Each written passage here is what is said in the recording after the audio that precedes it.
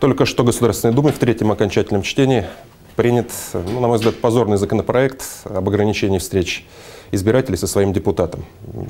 По инициативе «Единой России» на сегодня вот такие репрессивные методы применяются для того, чтобы ограничить возможность встречаться с своими избирателями как раз оппозиционных депутатов. Дело в том, что ряд запрещенных или несогласованных митингов, пикетов, э, демонстраций проводились как раз именно в этих рамках по наиболее значимым публичным э, вопросам. Речь идет и о стоянках в Москве, речь идет о передаче Исаакиевского собора, речь идет о точечных застройках. То есть многие депутаты оппозиционные применяли этот метод для того, чтобы привлечь дополнительное внимание властей, для того, чтобы выйти на прямой контакт с избирателем. К сожалению, Фактически через 7 э, дней такой возможности депутаты будут лишены, точно так же, как и избиратели.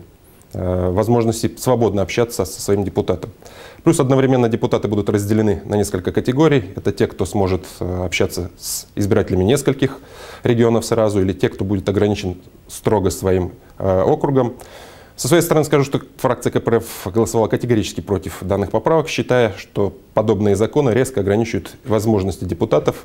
Вместо того, чтобы, наоборот, способствовать разного рода встречам, активизировать их, на сегодня Государственная Дума заняла репрессивную позицию, э, позицию ограничения подобных встреч, как бы чего не вышло. Это основной посыл, это, скажем так, основная причина, почему этот законопроект в короткие, максимально короткие сроки был фактически в сыром виде принят. Э, ну, а в части той ответственности, которая якобы будет введена за воспрепятствование подобным встречам, она существовала и до этого, она была предусмотрена административным кодексом, это статья 538, и даже уголовным кодексом, статья 149. Но, к сожалению, ни разу по этим статьям э, привлечены соответствующие должностные лица к ответственности не были.